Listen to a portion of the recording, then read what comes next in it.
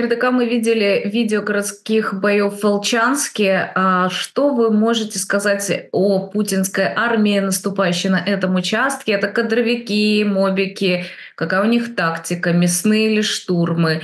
А что с вооружением, мотивацией? Это классические мясные штурмы. Участвуют там э, разные люди, э, качество личного состава разное. Специалистов каких-то мы не встречали. Э, возможно, они были, может быть, где-то там в втором-третьем эшелоне, но на нуле их не было точно. Ну, я имею в виду там специалистов разведки, каких-то спецслужб, э, силовиков каких-то, там, ну, спецподразделений силовых структур.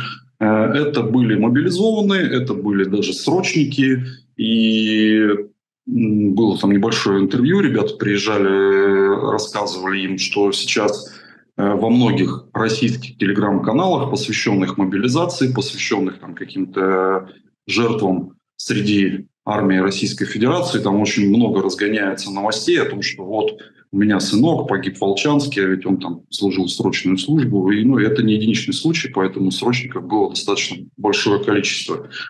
Ну, практика там стандартная, мясные штурмы отправляют э, достаточно большими соединениями пехоту, которая просто гуляет, и вот где она просочилась, там пытаются развивать успех.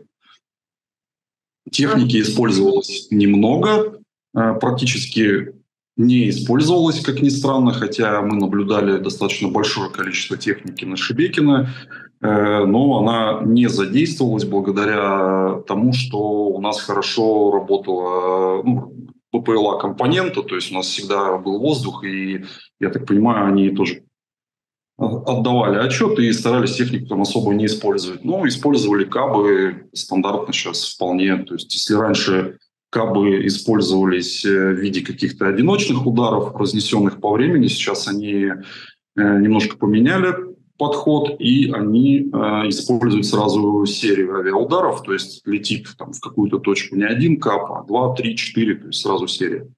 Угу, угу. А по поводу э, сдачи в плен, как много их сдается в плен? Э, какое количество именно вот на этом направлении? Или они не доживают просто до этого, они просто как мясо пушечное? Э, не так много э, сдавалось в плен, но так как э, есть определенная специфика ведения боевых действий в городской застройке, то mm-hmm. там в плен, в общем-то, сдаться достаточно сложно. И ну, не, не так много случаев. Э, с нашей стороны ребята попали в плен не из РДК, а из подразделения «Братства».